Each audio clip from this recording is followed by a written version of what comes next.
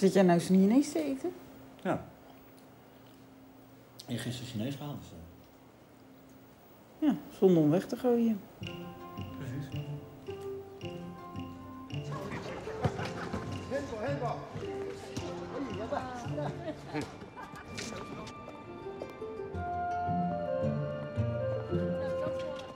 Ehm, hallo? Hallo? Ehm, ja? Ja, komt u maar. Eh... Uh... Hey, Taylor.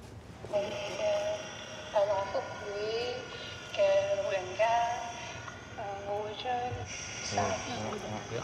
Begrepen. Ja, oké. Bedankt. ja.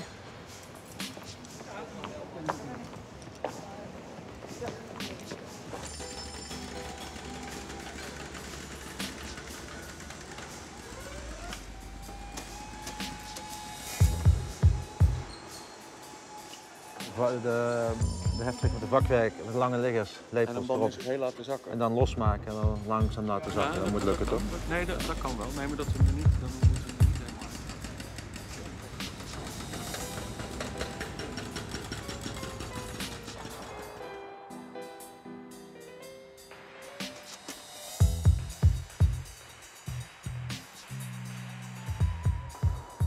Maar het lijkt mij mooi omdat ze daar zeg maar dat, eh dat vlondertje waar je oploopt, dat dat zeg maar bij die rode nokjes begint. Dat het iets hoger wordt, zeg maar even. Ja?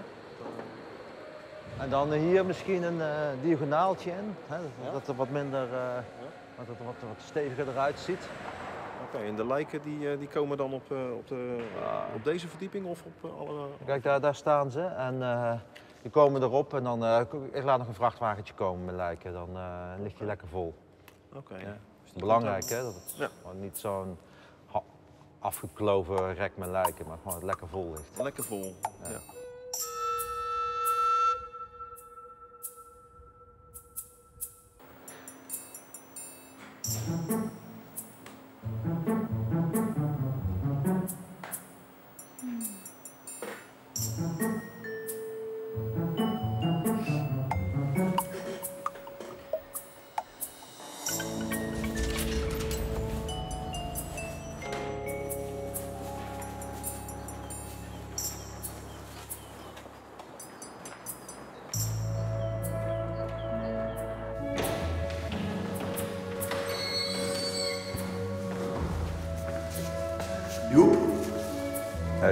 Heb het voor je.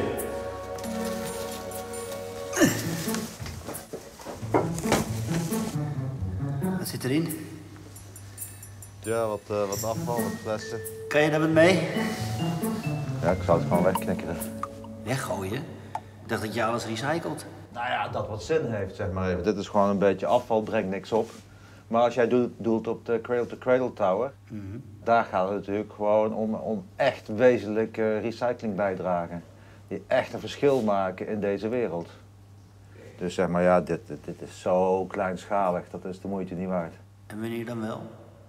Nou ja, kijk, uiteindelijk eh, gaat het natuurlijk eh, het beste natuurlijk om mensen te recyclen. Mensen? Recyclen?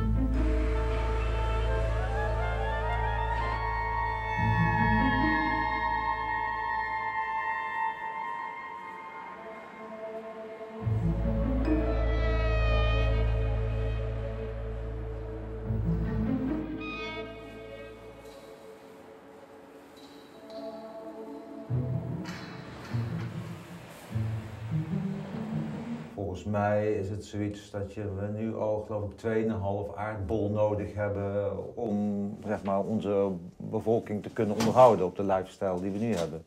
Dus dan kun je zeg maar zeggen, ja, je, kan overwegen om een vliegtuig minder te laten vliegen of een, een hybride auto. Maar ja, Uiteindelijk levert dat heel erg weinig voordeel op ten opzichte van de eliminatie van een mens. Hoe doe je dat?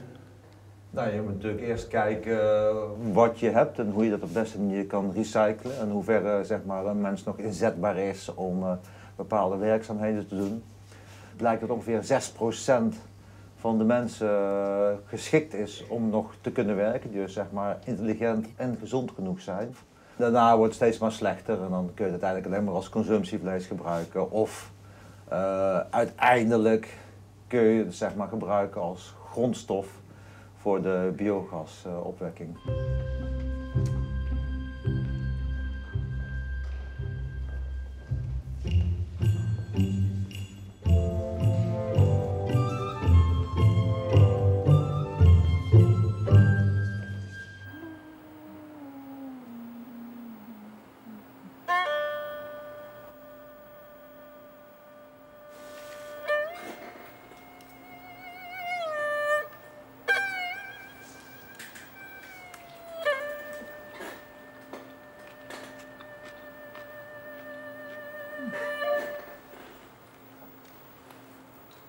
Kunstwerk van jou, die eh, torens, wat stelt het voor?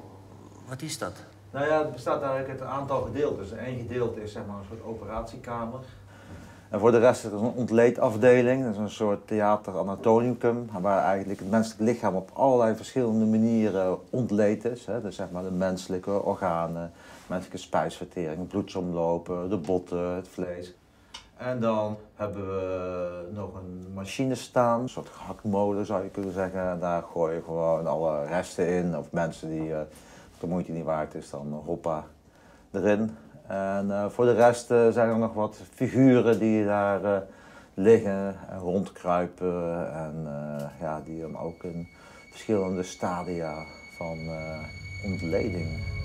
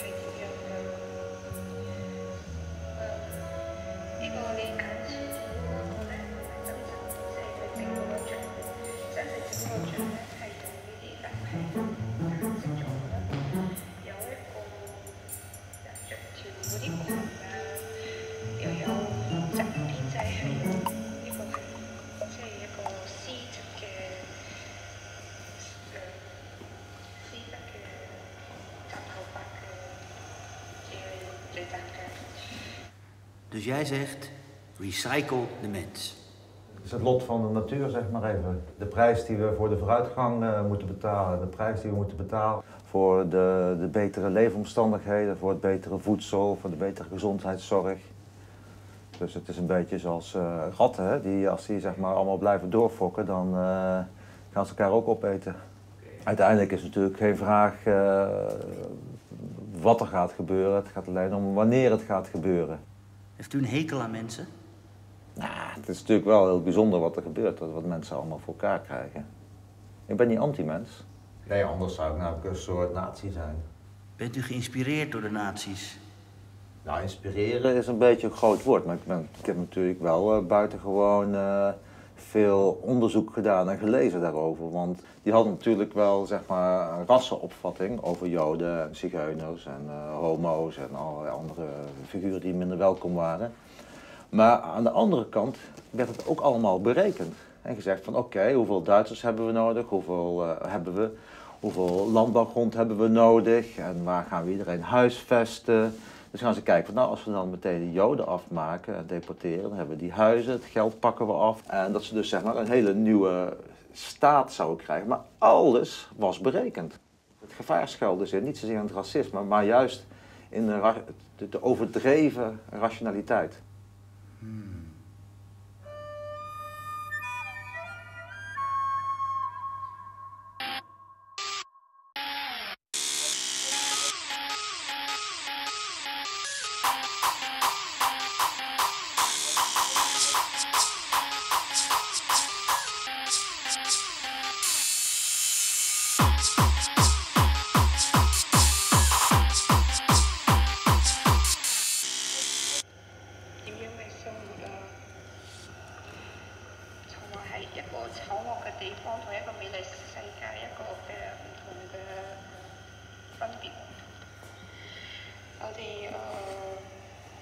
就即系分开企，然后每个人扮呢个女仔嘅动作出嚟，咁睇下我哋会唔会感觉到呢个作家